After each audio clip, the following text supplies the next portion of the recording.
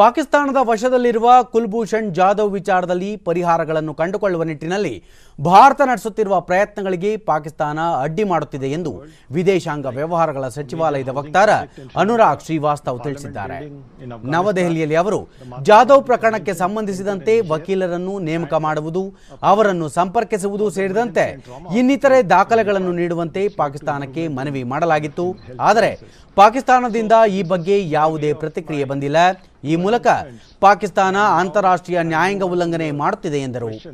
ಈ ಹಿನ್ನೆಲೆಯಲ್ಲಿ ಭಾರತ ತನ್ನ ನಿರ್ಧಾರಗಳನ್ನು ಕಾಯ್ದಿರಿಸಿದ್ದು, ಎಲ್ಲ ಬೆಳವಣಿಗೆಗಳನ್ನು ಸೂಕ್ಷ್ಮವಾಗಿ ಗಮನಿಸುತ್ತಿದೆ ಎಂದು ತಿಳಿಸಿದ ಅವರು, ಜಾಧವ್ ಅವರ ಜೀವ ರಕ್ಷಣೆಗೆ ಭಾರತ ಬದ್ಧವಾಗಿದೆ ಎಂದು ಸ್ಪಷ್ಟಪಡಿಸಿದರು.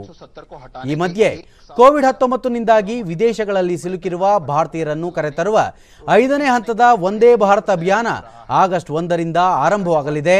ಈ ವೇಳೆ ಒಟ್ಟು ಏಳ್ನೂರ ತೊಂಬತ್ತೆರಡು ವಿಮಾನಗಳ ಸೇವೆ ಇರಲಿದ್ದು, ಆರುನೂರ ತೊಂಬತ್ತೆರಡು ಅಂತಾರಾಷ್ಟ್ರೀಯ ವಿಮಾನ ಮತ್ತು ನೂರು ದೇಶೀಯ ವಿಮಾನಗಳ ಸೇವೆಯನ್ನು ಒದಗಿಸಲಾಗುತ್ತಿದೆ ಎಂದು ಅವರು ತಿಳಿಸಿದರು Australia USA Germany Thailand Canada UK ಸೇರಿದಂತೆ ಒಟ್ಟು ಇಪ್ಪತ್ಮೂರು ದೇಶಗಳಲ್ಲಿರುವ ಒಂದು ಲಕ್ಷದ ಮೂವತ್ತು ಸಾವಿರ ಭಾರತೀಯರನ್ನು ಸ್ವದೇಶಕ್ಕೆ ಕರೆತರುವ ಉದ್ದೇಶ ಹೊಂದಲಾಗಿದೆ ಎಂದು ಅವರು ಮಾಹಿತಿ ನೀಡಿದರು जहाँ तक हमारा सवाल है जहाँ तक इंडिया का सवाल है मैं ये कह सकता हूँ कि पाँच अगस्त जो है हमारे लिए ऐतिहासिक